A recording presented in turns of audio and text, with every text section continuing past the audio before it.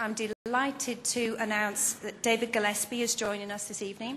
David comes from a company called Speechworks, which specialise in presentation skills.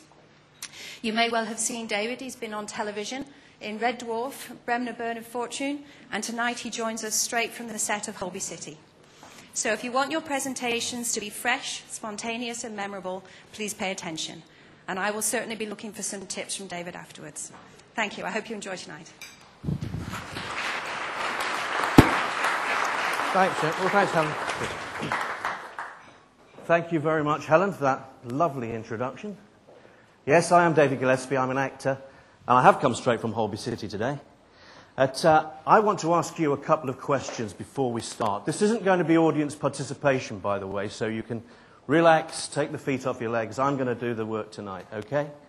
But I do need to know how many of you have to stand up and speak in public as part of your job? Show of hands. Wow. Well, that's practically everybody, I think. And how many of you are perfectly happy with that? Totally confident, no anxiety, can't wait to get up there and do it. Hmm. Well, it's funny, isn't it? It's a very daunting prospect. A recent survey tells us that most people fear public speaking more than death. So if you're at a funeral, you're better off in the coffin than giving the eulogy. Tonight, I want to look at three major components that this man seems to have a very good handle on storytelling, status, and focus. Since we were living in caves, whacking each other over the head with wooden clubs, we were telling stories.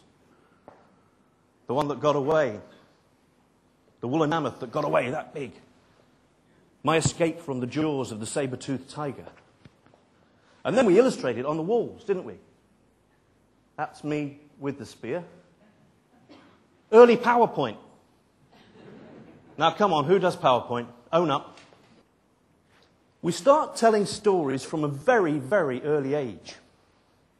I don't know, two, three years old, perhaps. Because our parents tell us stories, and our brothers and sisters tell us stories, and we tell our friends the stories our parents and our brothers and sisters told us. How many of you have children? Right. And how many of you read to your children or read to your children when they were younger? Yep. And when you did that, I bet you did all sorts of things with your voices that you would never do for an adult audience, didn't you? Once upon a time, there was a wicked witch. I'm not suggesting you go to the next board meeting and cackle like an idiot. All right, let's press on. Status. Does Bill Clinton adopt the right level of status to be the most effective communicator that he can possibly be? What is status? Well, if we look it up in the dictionary, it will say status, Latin, posture. So straight away that says something physical to us, doesn't it? But we know it's more than that. It's physical, yes. It's mental, it's verbal, it, it, it's emotional. It's a, it's a stance, an attitude, a demeanor, a manner. It's how we perceive people. It's how people perceive us. When we meet someone for the first time, we ask ourselves three questions. Subconsciously, we can't help it. One, what sex is that person? Two, how old are they?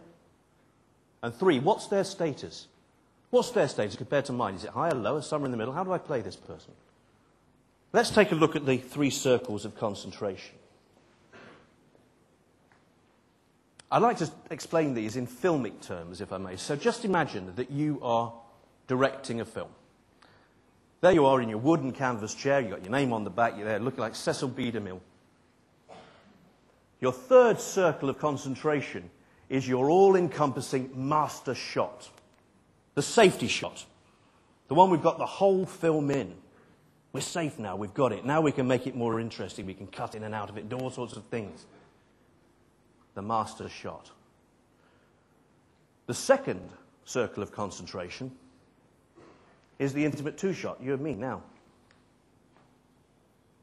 And the first circle of concentration is the single close up. What on earth is he talking about, I hear you say? Let's go back. That, ladies and gentlemen, in a nutshell, is the Clinton factor.